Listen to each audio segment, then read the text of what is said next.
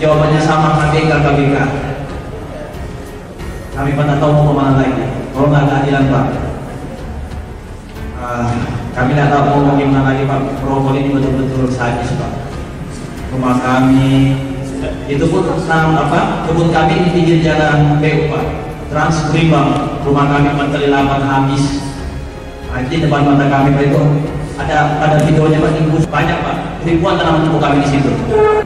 Tidak bisa ngapa-ngapain Pak. Kami mau cegah aparat ada. Ah, tolong Pak jangan di jangan dihalang-halangi. Kalau dihalang-halangi Bapak bisa kena pidana.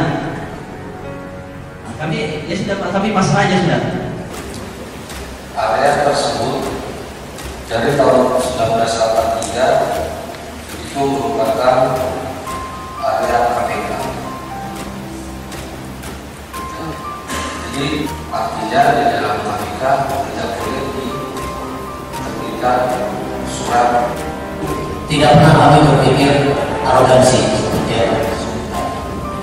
Adapun eh, permasalahan ini tidak selesai itu karena memang status kawasannya yang membuat kami tidak bisa melakukan pembebasan lahan. Presiden juga Pak Wakil Bupati dan untuk kita semua Presiden kita semua sebagai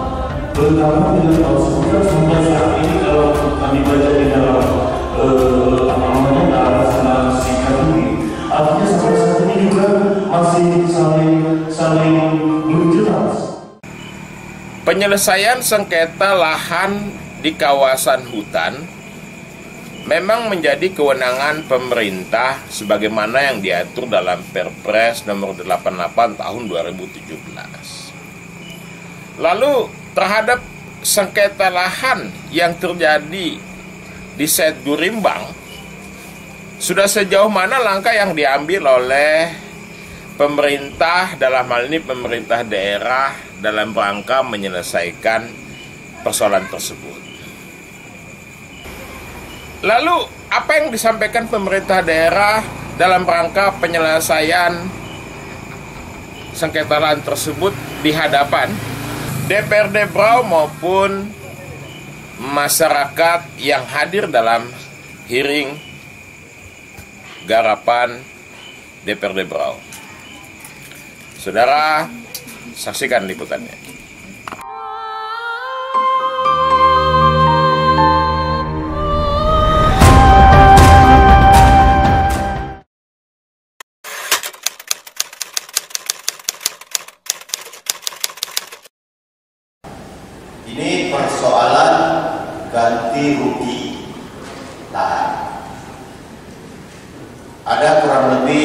2 ribuan hektar lahan yang diklaim untuk diminta ganti rugi oleh masyarakat. Dari 2 ribuan hektar itu hanya 80 hektar yang APM. Selebihnya APK. Saya kira tidak perlu ada perdebatan betul tidak ada KPK dan sebagainya. Ya memang faktanya sudah begitu.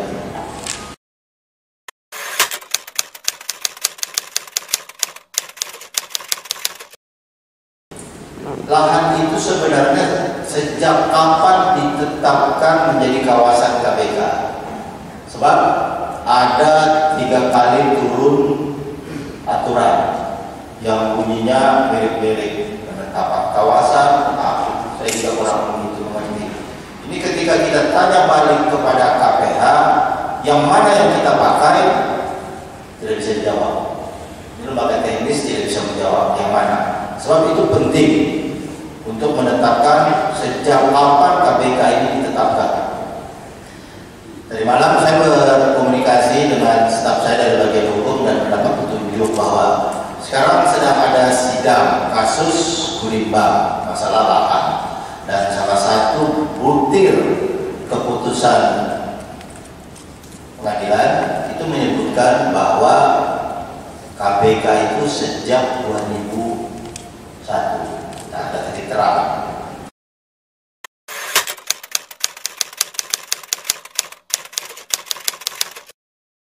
Di rapat pertama Januari lalu, saya mengundang Hutanan. Saya minta pendapat bagaimana kasusnya kalau ada lahan yang lebih digarap oleh masyarakat, baru belakangan ditetapkan menjadi kawasan KPK jawab dengan tegas sesuai dengan aturan ada dibaca oleh aturan bahwa itu harus dibayar ganti rugi sehingga ini pembuktian apakah masyarakat ini menggarap lebih dulu sebelum KPK atau setelah penetapan KPK kalau memang itu 2001 kita pakai harusnya lahan masyarakat yang digarap sebelum 2001 walaupun KPK walaupun itu KPK harus membayar ganti rugi dari PT Rokok saya sudah satu urusan ini. Nah yang kedua yang lebih mudah sebenarnya yang APR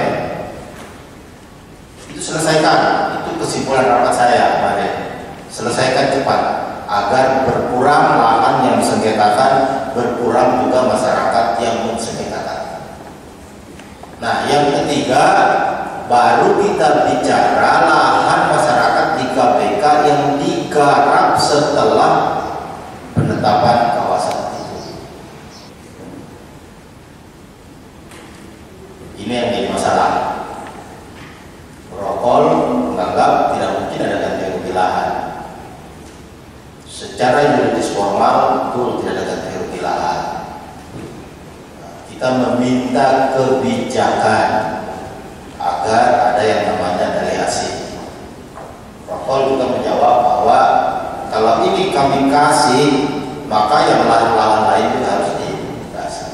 Intinya saya lihat masalah ini tidak bisa selesai kalau yang punya duit hanya berpatokan pada aturan tidak mau bijaksana sedikit masalah ini sulit-sulit gampang untuk diselesaikan.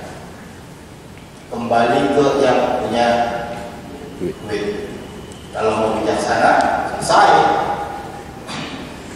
Kalau